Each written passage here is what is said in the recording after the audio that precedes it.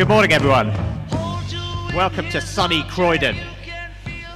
Um, it's funny being here, actually. Last time I was on this stage was playing in a school concert. I was playing the drums. It was probably timpani or something, and it would have been 25 years ago, so I feel really old.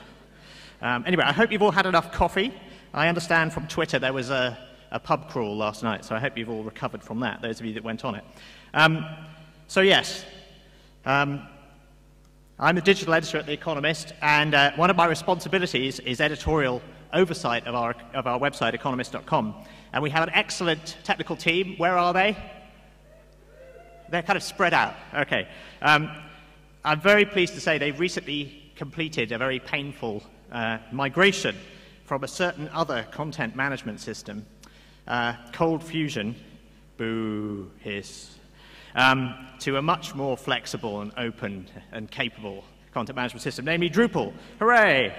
And um, this was handled extremely smoothly, and it, it's great. So we ritually killed Cold Fusion um, earlier this month. We wanted to like burn the disks and shred the manuals and everything, but we couldn't actually find anything. Um, but anyway, that means we can now concentrate fully on adding new features to our site. So what are we going to add? Well, we're going to add, of course, lots of social and community features. Um, and of course, this is what everyone's doing. As you'll all be aware, websites aren't so much the way they were in the Web 1.0 era, where it was about pushing stuff to people. Um, today, it's all about enabling connections between the people on those sites. That means comments, debates, discussion, so social features in general. And the modern web is all about participation and discussion and collaboration and so forth. It's a social medium. And everyone's crazy about anything to do with social media today. So, what I want to argue today is that the notion of social media, this whole phenomenon of the horizontal exchange of information between people, uh, rather than the vertical delivery of information from above, from a central source, this whole idea is not new. It's an idea that goes back a long way, at least as far as the Roman era, in fact. Um, before the, advent of technologies of mass dissemination, and that really starts with the steam press, and then the radio, and then television, there was no efficient way of getting information to large numbers of people quickly. And the only way it could travel was from one person to another person. So it's not too much of an exaggeration to say that before the rise of the mass media in the 19th century, all media was social. Sure, there are some differences. Today, Social media is global, it's instant, it's permanent, it's searchable. And back in the day, though, it was actually more social. People used to gather in taverns and coffee houses and discuss things and talk to each other as they passed them around, and then they went to other places and passed them on again. So, there are some differences, but the underlying dynamics, I would like to argue, are actually the same. Um, so, another way to look at this is that we're used to the idea that new media is different from the old media that came before it.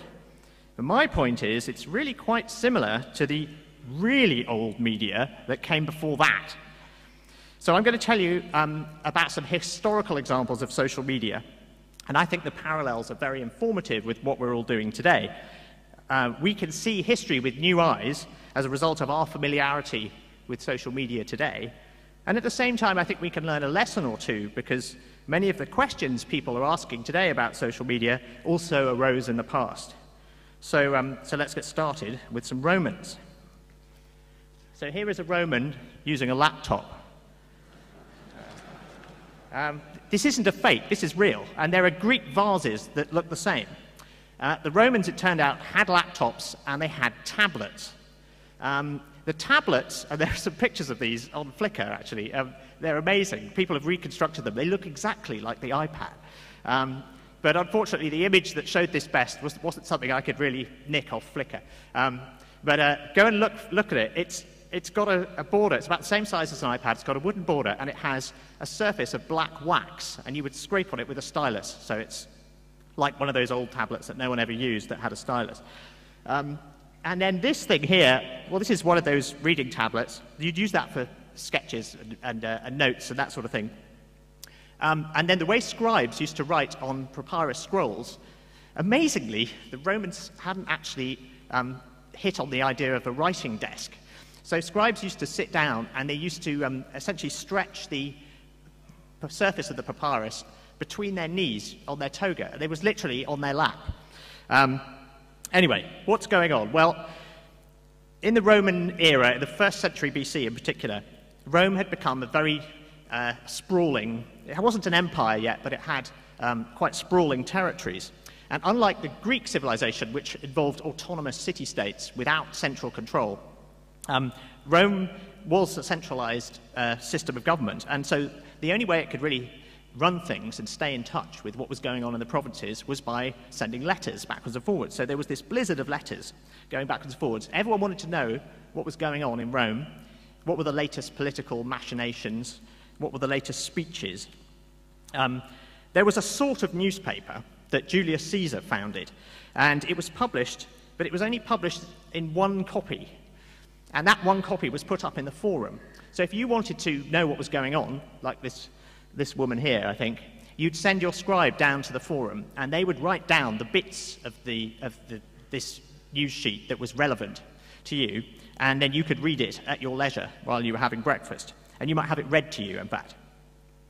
Um, but what you'd then do is, when you were writing to your friends outside the city, you would say, I hear that this has happened, and you would send them the most important bits of the news. And uh, you would also send them snippets of information you'd heard from other people in letters. And so merchants and soldiers and officials in distant parts would circulate news from the heart of the Republic within their social circles.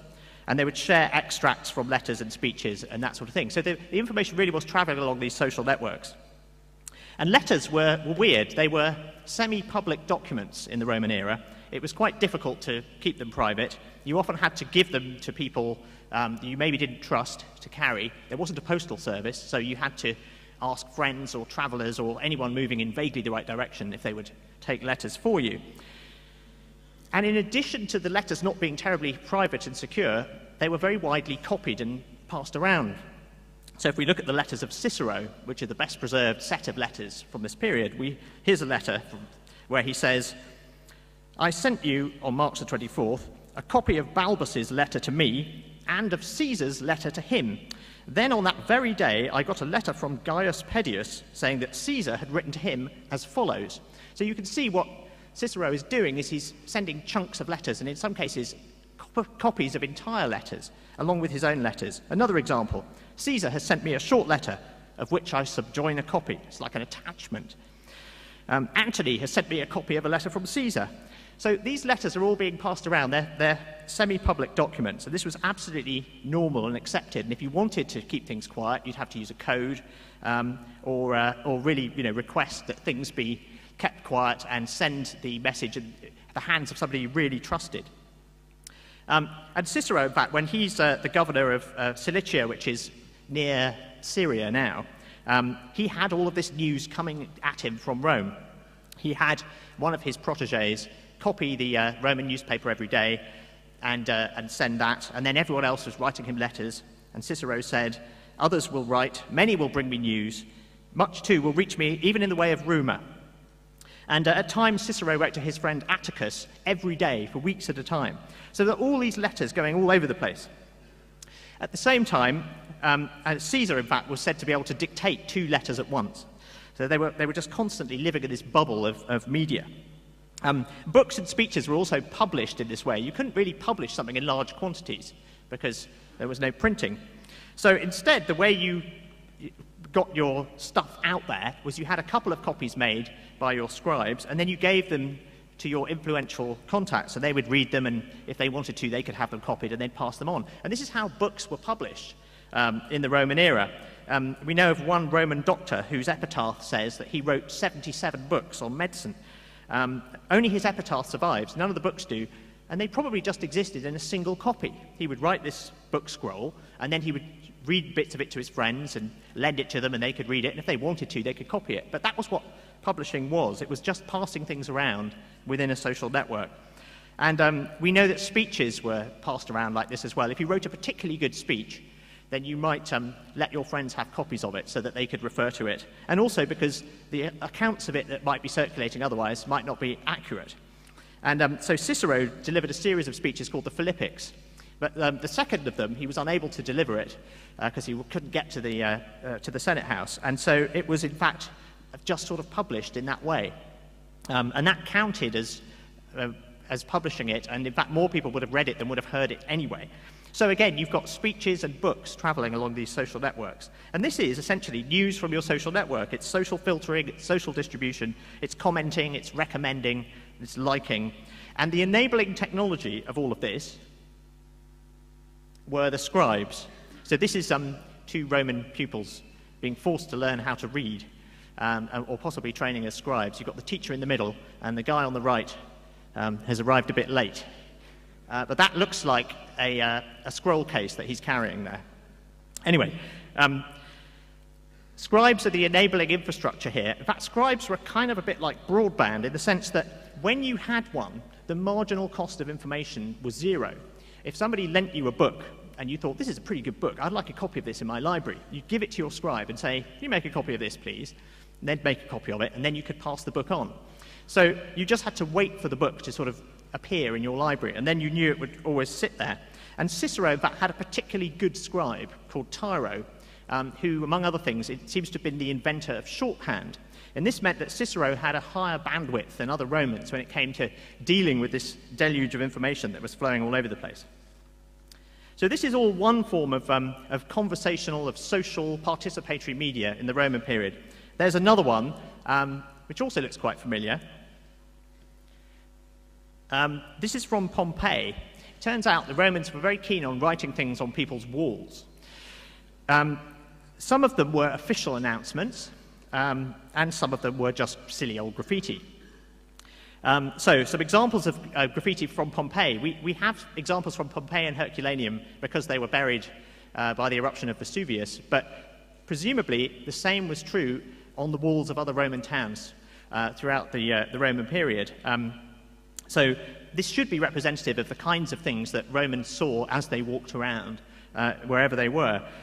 So from Pompeii, we have uh, quite a boring um, advert to rent from the first day of next July, shops with floors over them, fine upper chambers and a house in the Arnius Pollio block owned by Gnaeus Allius. Prospective lessees may apply to Primus, his slave. Oh, also, 30 pairs of gladiators provided by Gnaeus Allius together with their substitutes, will fight at Pompeii on November the 24th, 25th, and 26th. There will also be a hunt. And it goes on like this. There are political slogans. Uh, Versonius Primus urges the election of Gnaeus Helvius as aedile, a man worthy of public office. The goldsmiths unanimously urge the election of Gaius Cuspius Pansa as aedile. And here's, here's a, a slightly more prosaic message. A copper pot has been taken from this shop. Whoever brings it back will receive 65 sesterces and if anyone shall hand over the thief, he will be rewarded. Um, then there's something that reads a lot like a status update. At Nuceria, I won 8,552 denarii by gaming. Woo, fair play. And my favourite piece of Roman graffiti is actually addressed to the wall itself. And it says, I admire you, wall. I admire you for not falling down when you have to carry so much tedious writing. So even in the Roman period, people are saying, oh, God, all this oversharing of all this stuff. People writing all this tedious rubbish on their walls. And in fact, Cicero complains when he's got this stream of information coming into him um, in Syria that there's, there's too much that he doesn't need to know about the trivia. In particular, he doesn't need to be told the gladiator results. He regards those as superfluous for his political purposes. Anyway, the streets in, um, in Pompeii and Herculaneum with the most graffiti are those that lead towards the gates of the city, and they're the most highly trafficked bits of the, uh, of the town. So this was a media environment in which um, official and personal messages were mixed. But the funny thing about Roman graffiti is that um, you actually get it inside people's houses as well. And it wasn't, uh, you even get it in the high status houses, in the high status rooms. So it wasn't regarded as defacing the wall to write a message on it. Um, and the messages are quite small. I mean, you know, they're not, they're not prominent, but you can see them. And in a sense, it was a way of saying, look, I'm literate, you're literate, we can write messages to each other. Um, it was kind of, you know, you were showing off the literacy of your friends on your wall, which is kind of what people do on Facebook today. Um, they're quite small and unobtrusive little messages. So one man leaves many in continual greetings to his brother. Um, and the brother replies, and lots of greetings to you too.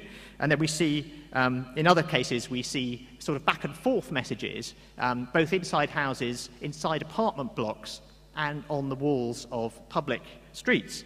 Um, my favorite example comes actually from the inside of an apartment block, um, where somebody writes a few lines of poetry on the wall, and other people then sort of riff on it, and they try and outdo each other and follow up on it, and it's like a little comment thread. And the, the question here is, you know, how literate were the Romans? Well, um, the idea that literacy is binary is, is just wrong. And I think we can see that today with computer literacy.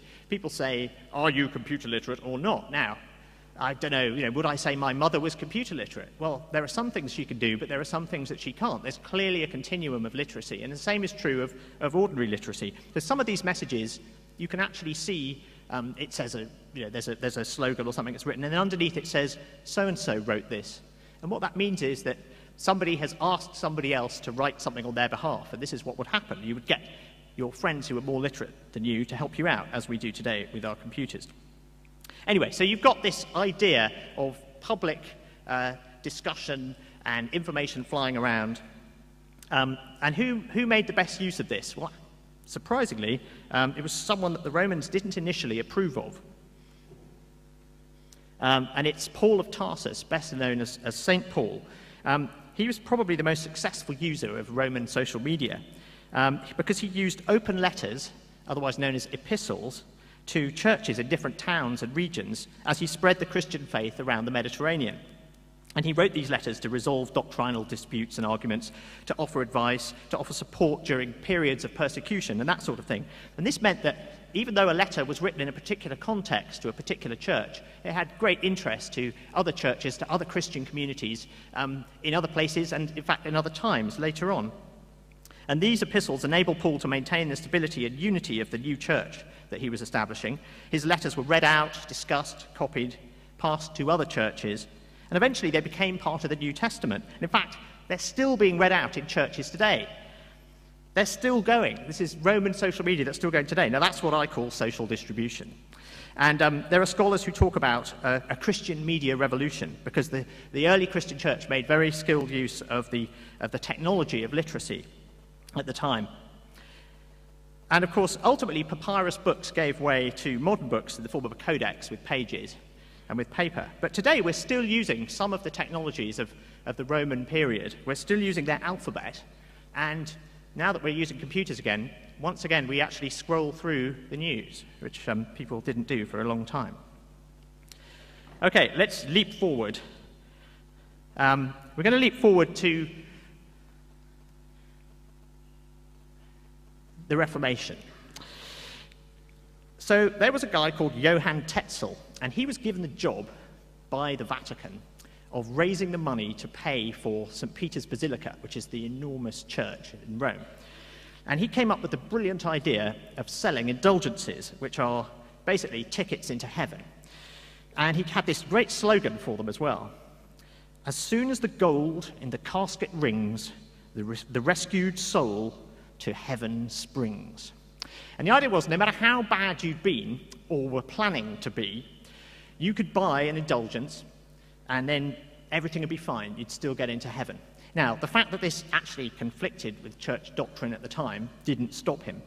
But, it, but Martin Luther, um, who was a priest in, in Germany at the time, uh, thought this was absolutely outrageous, and he wrote to his superiors uh, saying, this is, this is not at all, it won't do. He wrote the 95 Theses arguing against indulgences. He sent this to his local bishop and archbishop. And his friends started to pass this around, and they were then translated into German and printed in January of 1518.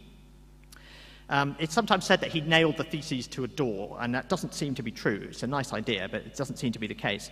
Um, anyway, they quickly spread throughout Germany in, in the space of about two weeks um, because people discussed them, preachers who agreed with Luther read out what he'd written.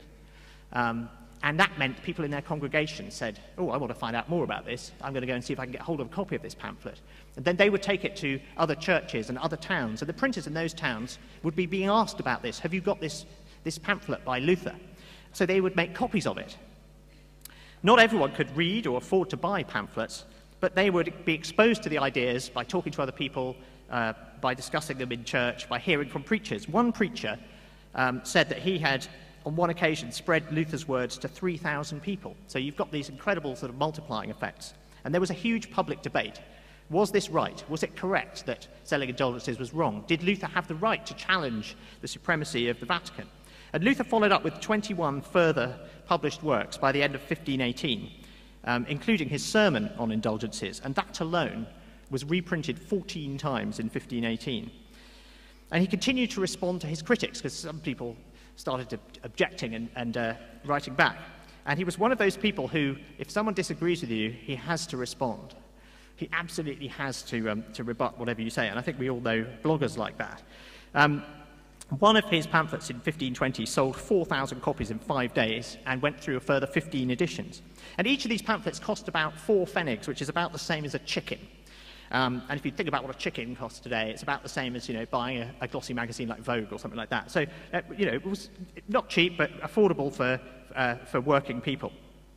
Now, obviously, Quantcast and Omniture and all that sort of thing didn't exist in um, in 1518, but it turns out that you can reconstruct Martin Luther's traffic stats. and um, it also turns out that you can divide them between the German and the Latin user bases. Uh, and this is because if you're writing a pamphlet that's mainly for ecclesiastical consumption, you write it in Latin, because they're going to speak Latin. And if you're writing one for a general audience, then you write it in German. And so you can see there's this massive spike in 1523. Now, what this is actually measuring is the number of times that uh, an individual pamphlet was reprinted. So it's not the number of sales, it's essentially, the, it's like the retweets or the reblogs on Tumblr, something like that. But it meant that when there was something that was particularly popular, it would spread very quickly and it would get reprinted. There was no copyright, people just reprinted things. And uh, it's said, in fact, that the initial pamphlet spread within Germany in two weeks and uh, throughout Europe in, in two months. Um, anyway, the best estimates are that uh, between 6 million and 7 million religious pamphlets were sold in Germany. That's the overall number of pamphlets. This is the number of editions um, in the first decade of the Reformation. Um, and quite a lot of them were actually written by lay men and women. They weren't written by members of the clergy, and I'll come on to why that was in a minute. Um, but that was the interesting thing, that these were ordinary people. Access to the press was, you know, if you could afford to just buy the paper and pay someone to print things, it really wasn't that expensive. You'd do a run of a thousand or something like that.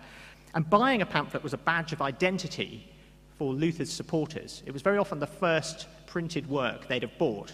Um, buying a Bible was incredibly expensive. It was several years' wages. But you could buy a pamphlet, and that showed where you stood, and you could show it to other people. So his writing defined a community of people who, who uh, signed up who liked what he did.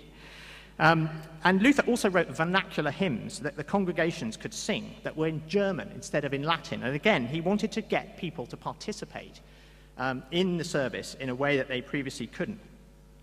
But the main thing, what was really brilliant about this was that Luther's message was reinforced by the medium in which he presented it, the pamphlet itself.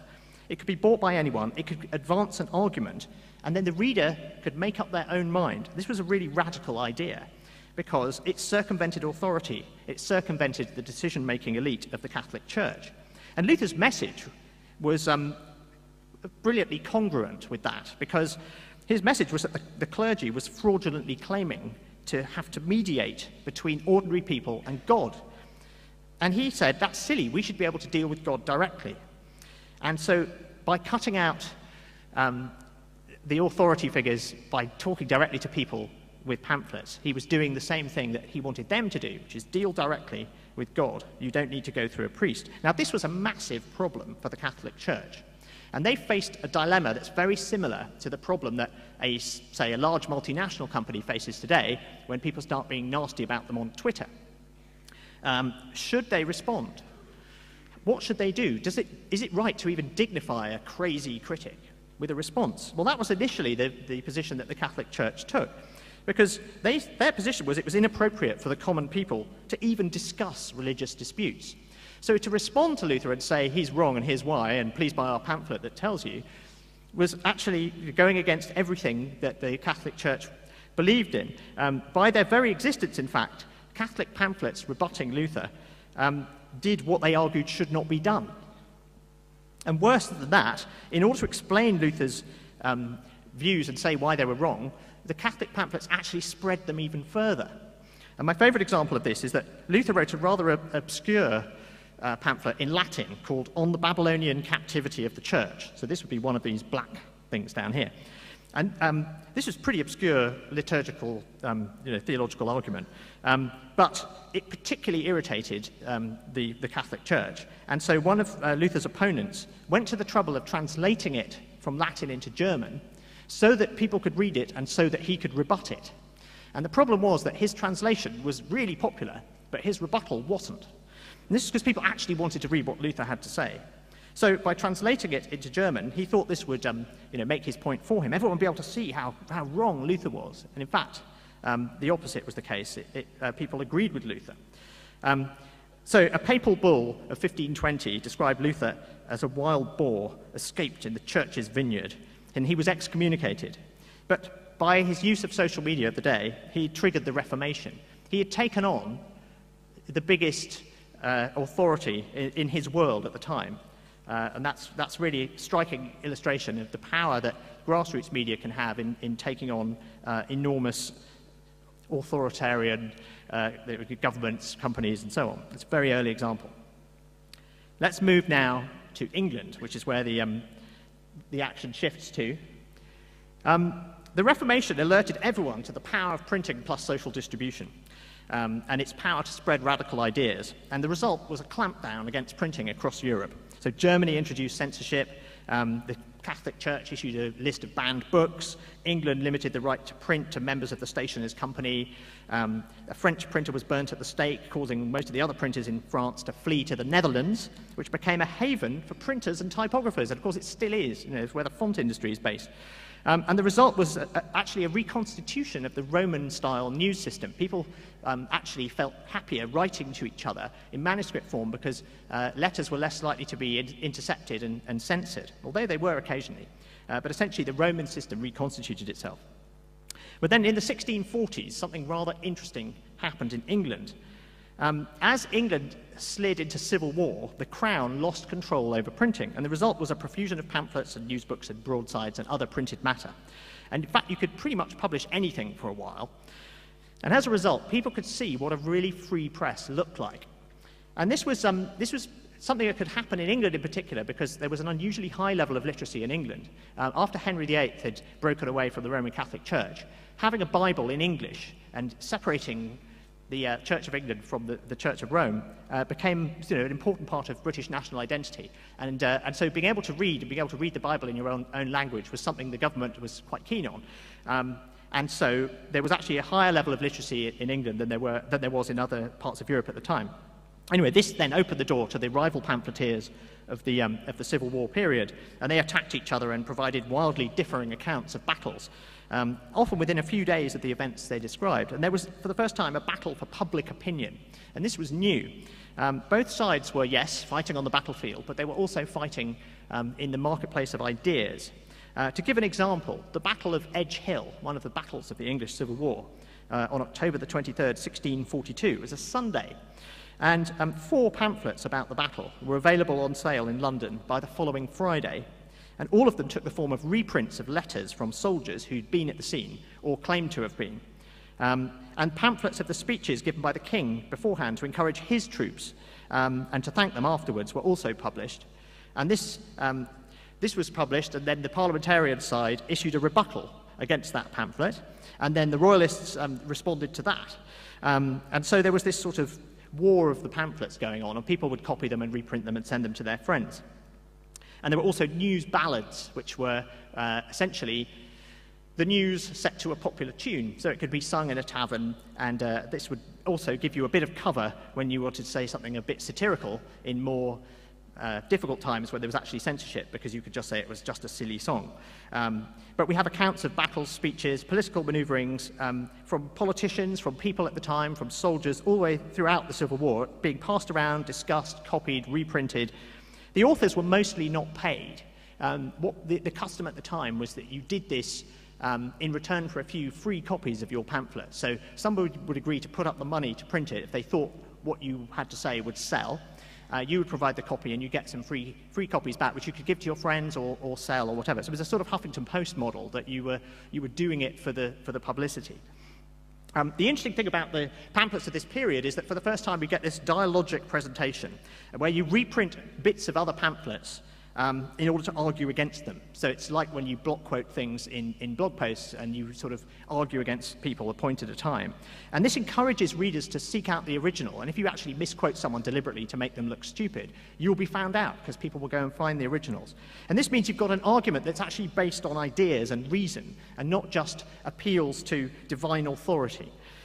Um, and the idea is that you're trying to lead the reader to a particular conclusion, which they may or may not agree with.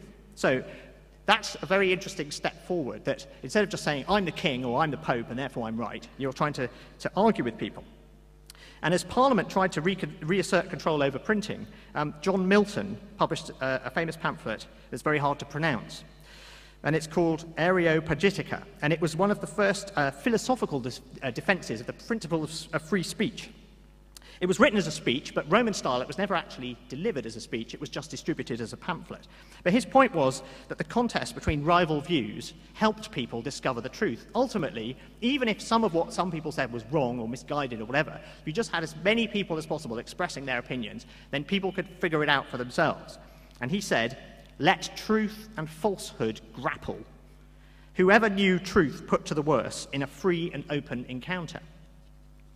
So that's the origin of the idea that freedom of expression, freedom of speech, freedom of the press are a good thing because they let people figure stuff out for themselves. And the same spirit, the, the doctrine of the marketplace of ideas, animated the scientific revolution. Instead of just accepting information from an infallible authority, in this case, the Greeks, so scientists just thought the Greeks were right about everything, and they weren't. They got all sorts of things wrong. They thought that the Earth was the center of the universe, well, quite a lot of them did. They thought that heavy objects fell faster than light objects. They thought the heart was a furnace that heated the blood, and so forth. In the 17th century, people started saying, hang on a minute, they might have got this wrong. Let's go and do some experiments. Let's actually test nature directly ourselves, and let's find out the truth. And interestingly, scientists at this period also decided that instead of sitting on their results, hoarding them as secrets, they would share them with each other and cross-check them and build on each other's work. And this is when we get the first scientific journals. It's another form of social media. Um, and they start off as pamphlets and summaries of meetings, often held in coffee houses. Um, and the papers were then, they were written by scientists for their peers so that they could build on each other's work. And this is also, I would argue, the origins of the open source movement. I mean, this is the basic idea. The open source movement is um, the scientific method applied to software. Um, so I think this all goes back to the 1660s and the, and the coffee houses. Of course, we're still, still fueled by caffeine today. It's still the fuel of the information economy. And I hope you've all had enough this morning. Um, the interesting thing about these coffee houses, you could get your mail in a coffee house because there was no street numbering. So you'd say, write to me at the Rainbow Coffee House. You could read the news because they would have all the latest pamphlets and news sheets on the table. You could talk to people, you could write a pamphlet in the corner and then have it published. And coffee houses actually specialized in the discussion of particular topics marine insurance, the stock exchange, science. There was one where the actors went, there was another where the sailors went, and so forth. And these actually turned into the embryos of, of, modern institutions. Jonathan's Coffee House turned into the London Stock Exchange. It's where the traders went to, to do business. Lloyd's was a coffee house turned into an insurance company. Um, and summaries of coffee house discussions were republished in magazines to enable people outside the city, out of the provinces, to get a flavour of the discussion. So coffee was this fuel of innovation, and I've, I've talked about the coffee house internet in one of my books. And there were also invisible colleges, as they were called. These were groups of scientists who never actually met. They just corresponded by letter. Uh, it was very much like a sort of mailing list approach, and they would discuss new theories and new experiments. So, the modern ideas of free speech and the free press, and modern science, and even open source, I would argue, stem from this period. Um, and the idea that openness and sharing and testing ideas against each other um, in, a, in, this sort of open, shared information environment uh, means fewer errors, makes it easier to build on other people's work. And I think that's something we can all relate to. Okay, so now to America. The idea of freedom of expression spread like a virus from Britain, and uh, in particular to America. Um, the papers in the American colonies uh, were pretty hard for the authorities to control anyway from London. They were far away. Um, and by this stage, the government itself had actually bought into the idea of freedom of the press, freedom of expression. It was part of the Bill of Rights in, uh, in Britain.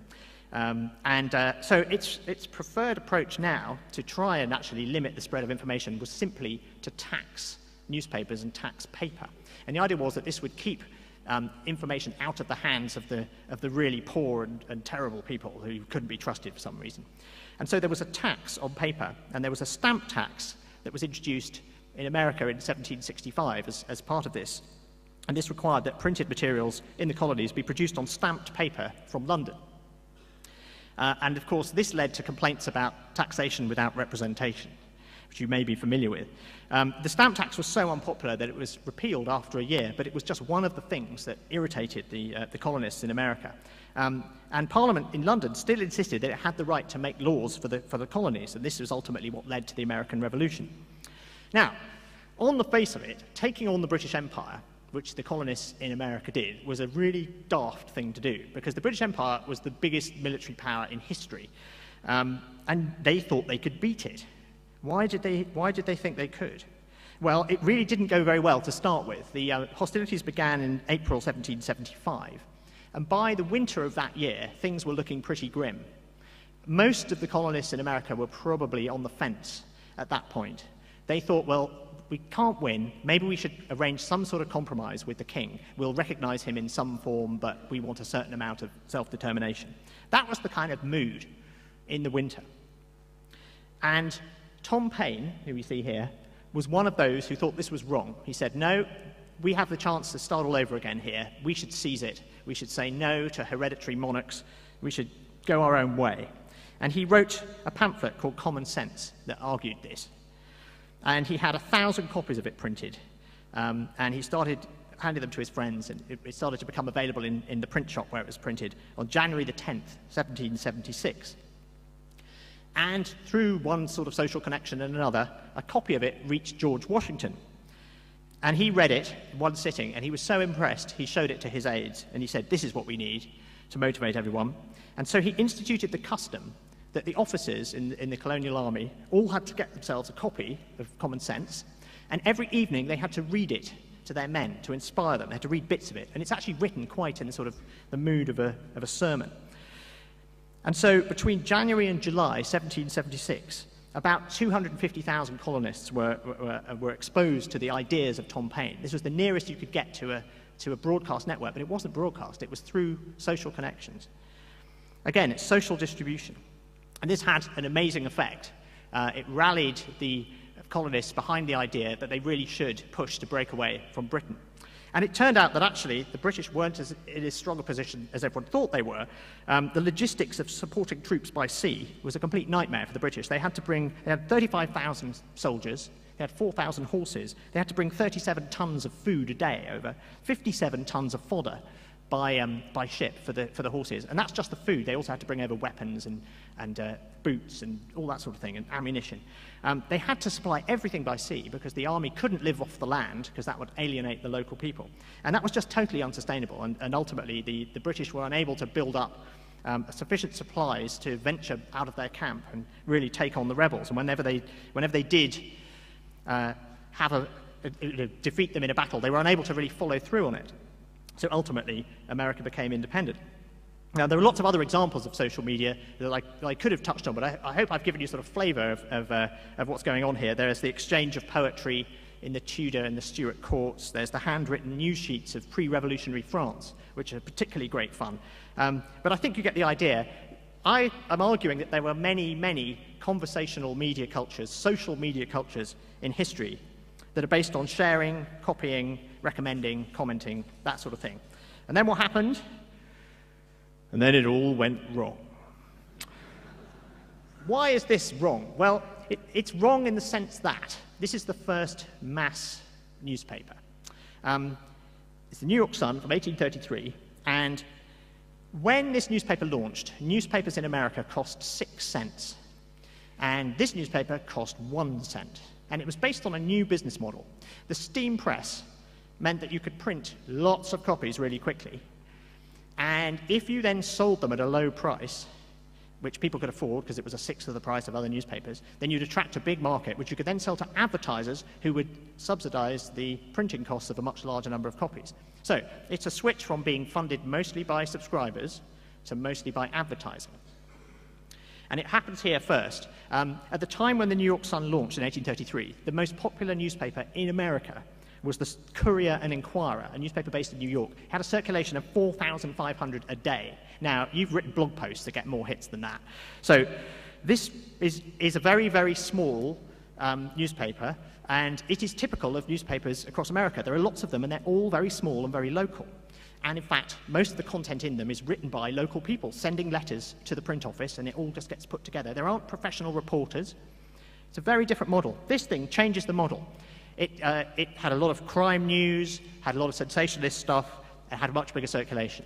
And it, it, it, introduced this idea of mass media. Within a couple of years, it was selling tens of thousands of copies, um, and you know, it was up to 80,000 by the 1850s. I mean, it was, it was incredibly fast. Other newspapers copied this model. And what happens here is that you end up with a newspaper where a small group of people, the journalists like me, um, decide what goes into it and gather the information and filter it. And then you have this distribution system that pushes it out. And media becomes a one way push thing. Stops being two way and conversational, turns into a one way medium. And then radio and TV go even further in this direction. You know, with radio and TV, it's really expensive to build the towers to cover the whole country.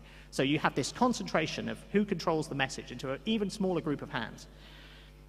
And this gave us the era of mass media. Now, the troubles we see in the news industry now are essentially down to the fact that it, it, relied on this model. It became much too reliant on advertising revenue. American newspapers in 2008, at the peak, got 87% of their revenue from advertising. Um, the equivalent in Europe is about 50%, and some, some publications it's as low as 30%. 87% means you're really, really exposed to advertisers and to, to changes in the market. So it's because they had this model, they were very successful, but it's now broken. And why is it broken? It's broken because of the internet. The internet, and in particular social media, social transmission on the internet, has undermined this vertical transmission model. The internet is stealing attention from TV, it's stealing attention from newspapers, it's stealing advertising dollars it's reinvigorated horizontal transmission. And once again, information can travel between people, whether it's a rumor or a silly YouTube video or actually important news, like Tripoli has fallen. This is a big shift, absolutely, but it's not entirely unprecedented. In many ways, it's a return to the way the world looked before 1833. So today, we see social media being used as an accelerant in the Arab Spring. I don't think you can say it's caused the Arab Spring, but it certainly hasn't done it any harm. We see governments try to shut down the internet or shut it down uh, or use it to their own ends to, to suppress dissent. We see politicians worrying that the internet can't be trusted because it spreads lies and rumors. We see companies embarrassed by information that they'd rather keep quiet coming out on the internet. We see Twitter used to circumvent restrictions of free speech, like super injunctions over footballers' private lives. And this is just what we should expect, because history tells us that social media is extremely powerful, it challenges authority, it promotes freedom of expression. It promotes collaboration and innovation, and it encourages political freedom in turn. So it's not a fad, it's not going away, it's an idea with a very, very long tradition. So I should probably make a couple of predictions. Well, I think um, on the political front, we can expect social media to play uh, a role, an important role in political change in China. We can already see um, early stirrings to this effect, particularly after the recent high-speed rail crash. Um, it's very hard to censor social media. Uh, the volumes are very high. The Chinese language um, means you can actually pack a lot into 140 characters. Um, so you can actually have whole paragraphs. Um, and of course, uh, it's ideal for the phone-based internet culture that you have um, in China in particular. Um, I think the internet will also stimulate more innovation in science and in business. So we see some very interesting uh, Web 2.0 uh, social experiments like the Zooniverse projects. I think they're wonderful doing that. And uh, Marc Andreessen was recently talking to The Economist, and he remarked upon how the internet and social media is speeding up innovation in Silicon Valley. He says it makes the 1990s look like the Stone Age. So I think we're going to see an impact there, just as we saw innovation in coffee houses in the 1660s. I think we're going to see uh, these network effects um, improving the, the speed of innovation. And then I think potentially the internet is a very, very good place for a new religion to gain traction. Um, Now, they haven't, what are recent new religions? Well, Scientology, they've got a bit of a problem with the openness part. Um, but Christianity was a religion, is a religion based on sharing and openness and, and spreading, the, spreading the word, literally. Um, so a, a, religion that has a similarly enlightened view of the internet could potentially, um, could potentially emerge in the, in the coming centuries. As Jeff Jarvis said this week, uh, it's only 1467 or something like that. What he means is we're very early in the era of the impact of the internet, and it's rather like the early days of the, of the printing press, in the, the beginning of the, uh, of the Reformation. So what I've tried to do for you today um, is put what you all do and what I do into historical context. And from a long-term historical perspective, what we're basically doing is contributing to the reawakening of the social aspect of media, which has lain largely dormant for about 200 years. So that's what you're doing when you're writing code and when you're commenting on things and sharing and so forth. So I hope that I've succeeded in convincing you that social media doesn't simply connect us to each other today, it also connects us to the past. Thank you very much.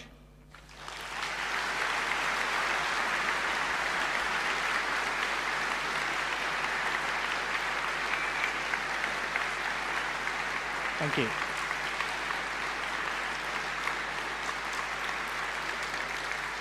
Now, I, sh I should have mentioned at the beginning, I should have said at the beginning, there's a hashtag, and uh, I believe Diana is going to, if there are any questions you've posed on that hashtag, we might have time to answer a couple of them. I also should have said, follow me on Twitter. Mm. Um, anyway, Diana, do you want to, have we got time for a couple of, of questions? I do, yes. So this is Diana Dupuy, and uh, she actually works with us at The Economist, um, making our, our site as wonderful as it can possibly be. What have we got? That's a great way to start. Thank you. So there was some interest in social media as a profession or maybe attempts to monetize it pre-US. So in Roman area, in Roman era. Yes. Um, so, well, it, the reason it wasn't a profession was that a lot of the scribes were slaves. Um, so you bought them. And so, but that, interestingly, interestingly, it was a route to freedom. It was a route to becoming a freed man. So Tiro, who is Cicero's slave, um, is initially his slave, and he is this amazingly good scribe. Um, and he can, you know, he can, he can write on a wax tablet, looks like an iPad, as quickly as Cicero can speak, and then reconstruct it all afterwards. And uh, so Cicero values him a great deal and actually frees him part of the way through his service. And Tiro loves working with Cicero so much that he continues to work with Cicero uh, you know, as his secretary. Uh, so he, he continues to do it. So in that sense, you know, he, made a, he made a career out of it. And there are other examples we can see of entrepreneurs. So in the case of when Cicero goes to Syria and he has the news sent to him from Rome, he asks his protege Caelius to do this. And Caelius actually outsources it to a Greek scribe called Chrestus. And Chrestus seems to have made a, a living copying down the, um, the rumors from the forum and the, the news sheet of the forum and sending them to paying subscribers. So there were people who were um, you know, doing the job of filtering, curating, and uh, you know, if you couldn't be bothered to read all of the stuff that was out there, you could pay someone to do it for you. Um, and that's kind of, you know, I think that's the role of the mass media now. That's what we do at The Economist. We, uh, I like to say, sift, crunch, pack. So we, we try and work out what's important each week and wrap it all up in a bundle that you can actually finish. You can actually get to the end of it, unlike Twitter or the internet. And for some people, you know, that's a, particularly time-pressed people, that's something they're, they're really willing to pay for. Someone tweeted about how excited they were to be combining their history degree with Drupal. And there so, you go. Now you know how to do it. So. Um, can you recommend further reading that uh, people who are interested in exploring this more? Um, well, there isn't a book about this, and I think there should be, so I'm writing it.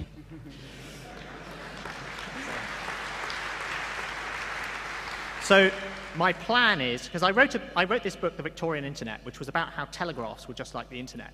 And I wrote that in 19, actually I wrote it in 1997. It came out in 98 in the, in the Web 1.0 days. And the thing that's changed about the internet since then is the, is the 2.0 part. Um, so I really want to kind of go back and revisit it. So this is, is essentially the, uh, the précis of, of the book, um, which I'm supposed to finish writing by the middle of next year and should be out uh, late next year or the year after. And my working title is Cicero's Web. So I hope you will look out for it, and um, I hope that uh, it doesn't differ too strikingly from what I've just said. Thank you. We can say we were there at the beginning. You can. So, um, last question was early on in the Thomas Paine era, was there the same kind of differences between media created in the private interest versus the public interest, or uh, from perhaps a group that had an agenda in media? Yeah. Um, if you look at, and I recently did a special report on this in The Economist, on the news industry in particular, if you look at the early news industry, um, so essentially it's from the coffee house era onwards, um, up to 1833, um, well, and in fact, for much of the 19th century, it's incredibly partisan. So, in a sense, what Fox News and what MSNBC do now, and what the newspapers in Europe, which tend to have pretty, you know, they tend to be pretty open about their political biases. You know, The Guardian is a left wing paper and The Telegraph is a right wing paper. Um, we're seeing a return of uh, partisanship to, to media, uh, particularly in America, which has tried to get away from it. But actually, again, in a sense, that's a return to the way things used to be.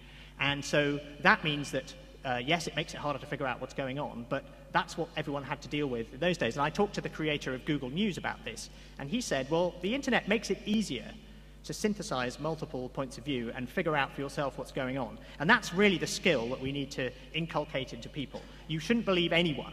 You should go and test what they say against the evidence, and you should subject yourself to as many points of view as possible. And that was John Milton's point, um, and it's still true today. So the idea that um, I know that you know, some people think this, is, this, is a, a, this represents decline of the modern media, but it's really a return to the, the way things were historically. And in fact, you wouldn't believe how, how partisan the newspapers of the, uh, of the revolutionary and the, post, the post-revolutionary era uh, as well were. There's a good book on that called Infamous Scribblers, um, if you want to know more about that period in particular. Excellent. Well, thank you very much, and thank you for attending. Thank you very much.